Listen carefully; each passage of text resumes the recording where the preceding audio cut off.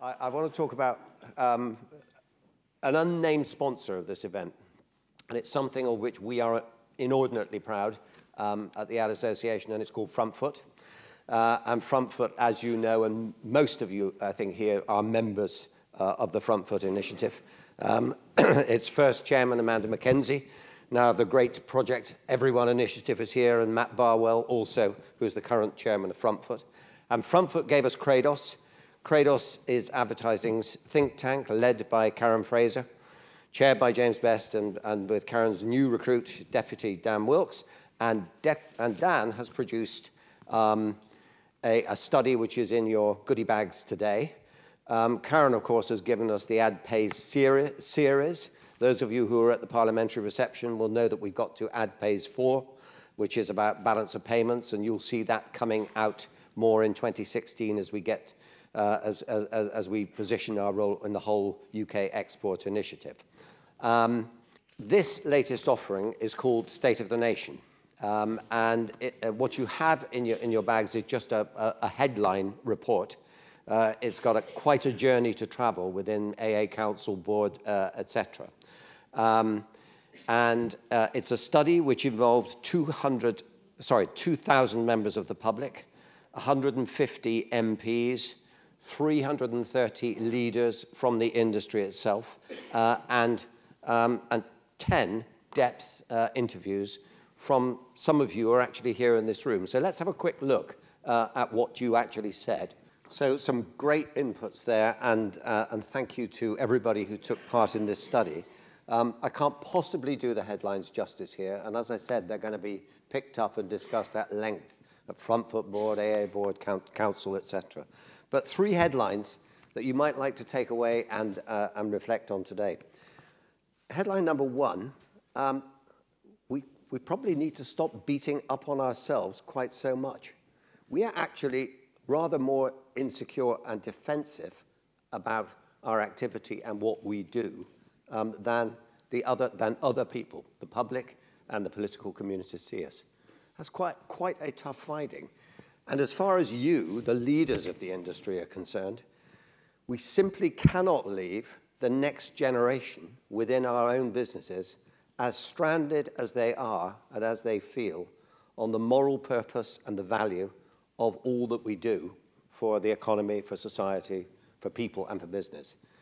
Uh, and then the third uh, area um, which I think will come to the fore and is particularly relevant when I welcome our next speaker onto the, onto the stage, uh, is as you've got an insight there, the battleground on which our value exchange uh, depends will be fought in particular online and where we are using people's data.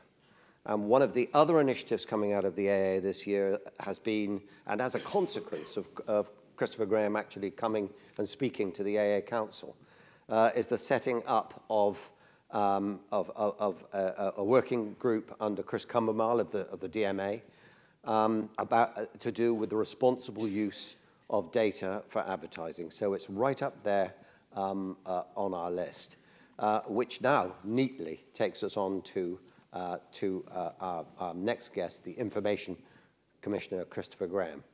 Many of you know him. You know that before Guy Parker, he was the Director General of the Advertising Standards Authority, so he's a friend to our industry. So we're going to ask, ask him to address a single question. If advertising wants to be seen to be more responsible, what does that mean when it comes to data? Chris.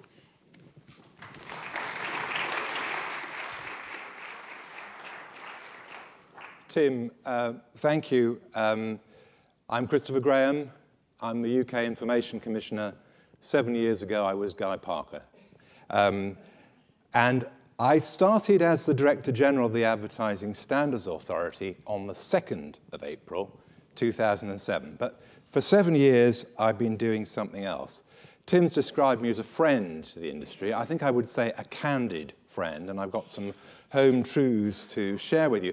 But I must say, it feels like I've never been away because I read this, this week that French Connection uh, is rerunning the FC UK campaign. And that's what was happening when I started off at the Advertising Standards Authority. So it's back to the future. and it's back to the basic questions of reputation and responsibility. But perhaps in a new space, uh, the question of data and trust and data protection.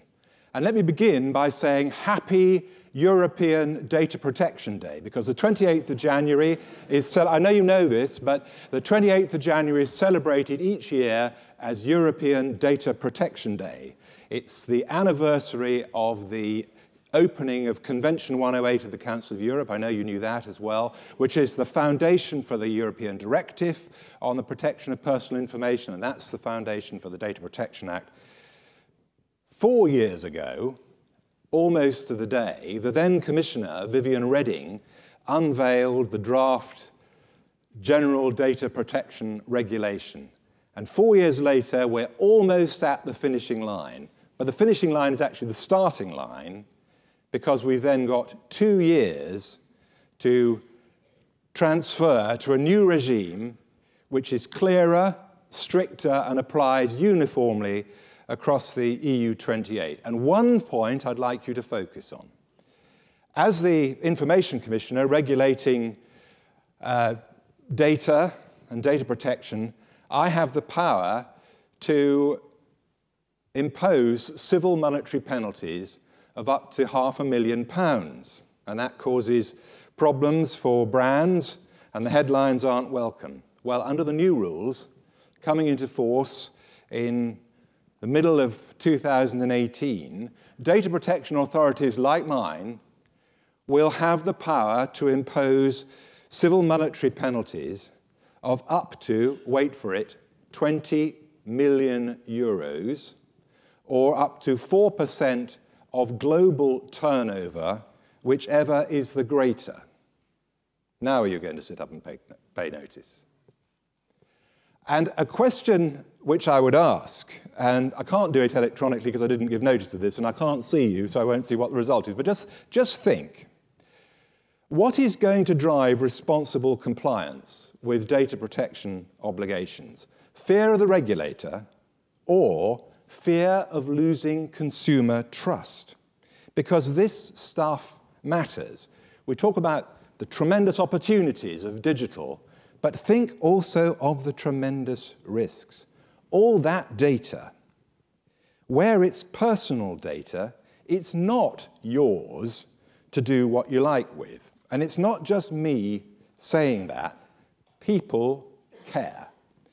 This week, to mark European Data Protection Day, we commissioned on the, the YouGov survey some questions about how consumers feel about the way that companies manage their data. And the message is that companies that fail to keep personal data safe risk long lasting reputational damage that can impact on the future success of the business. Am I talking your language? The YouGov poll shows that nearly 8 out of 10 people would think twice, and that's putting it mildly, about giving their custom to an online company that had made headlines for failing to stop a data security breach. And companies that play fast and loose with people's personal information risk the wrath of the ICO, and that means fines of up to half a million pounds. And a heavy fine is bad enough, but the time, energy, and money it takes to rebuild consumer confidence can be as severe a punishment as the fine itself. Uh, we commissioned that YouGov poll, uh, 2,000 respondents. It showed that 20% of people would definitely stop using a company's services after hearing news of a data breach, after hearing news of a data breach. 57% would consider stopping. So 20% would definitely stop, 57% would definitely consider stopping. We found only 8% said that such coverage would make no difference, and 14% said they didn't know. So the knock on effect of a data breach can be devastating for a company. Getting hit with a fine is one thing, but when customers start taking their business and their money elsewhere, that's the real body blow. So keeping personal information secure is just part of the picture because we also found that 95% of those polled by YouGov said it was very or fairly important that customers were clear from the outset about how their personal information was going to be used. And 94% deemed it very or fairly important that their information was not shared with other companies. So it's clear that people care about what happens to their personal information. Getting it right is not only an obligation under the law, but it must be central to an organization's reputation management. And that, after all, is the business that you're in, is it not? We know that in 1962, the advertising business faced a threat from the consumer movement and it had to organize itself into the defense of commercial free speech. That's where the Advertising Standards Authority came from. Now there's a new threat to trust in organizations and brands, and it's about data protection, or rather, the lack of it. And I'm here because this is an issue that requires leadership at the top of an organization. If you think, how could you possibly imagine that the reputations of big national charities would have been so trashed by issues around the way that their fundraising operations were using data. A big company like TalkTalk is counting the cost because of all the coverage of the uh, security breach which we're, we're currently investigating.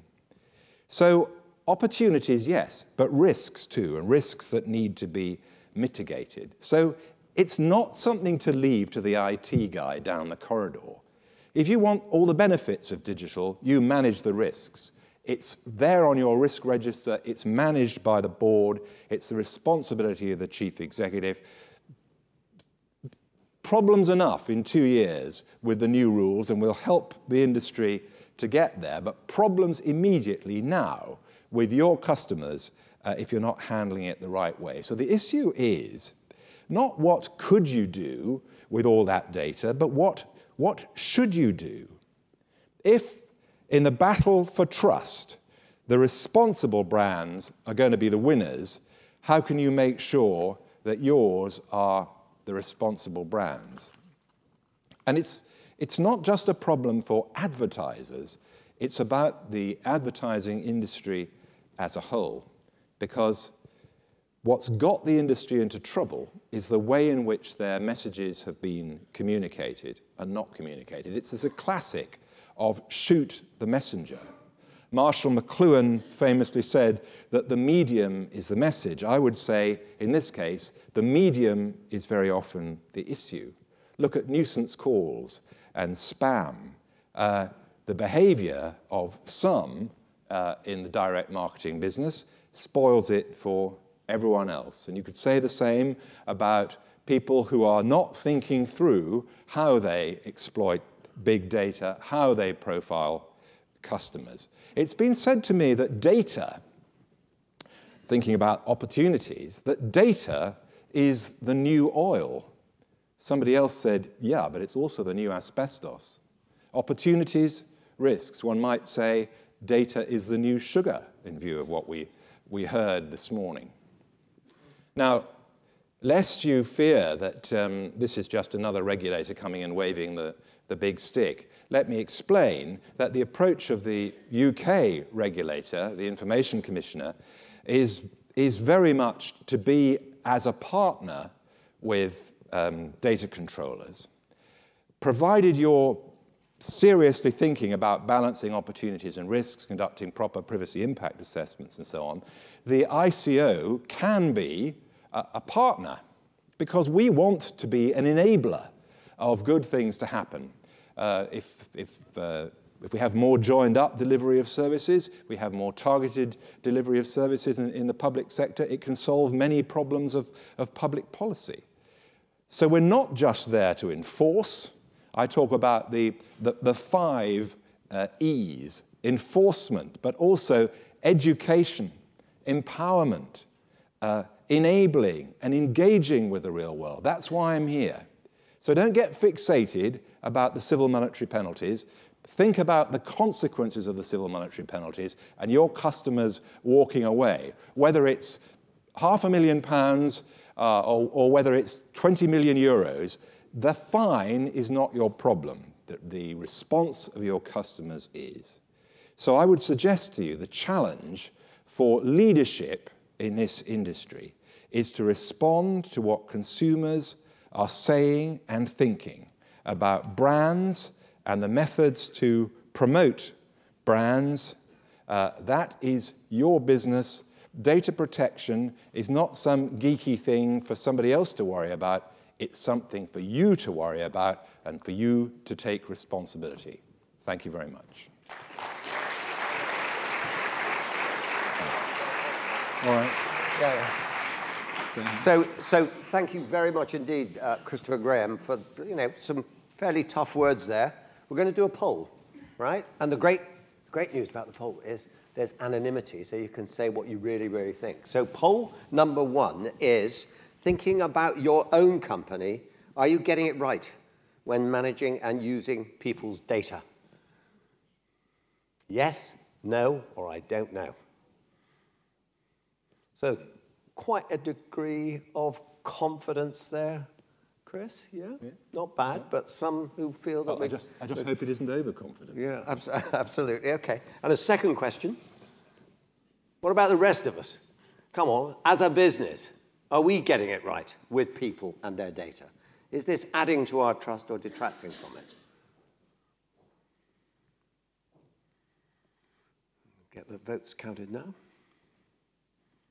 Oh, wow, there we are.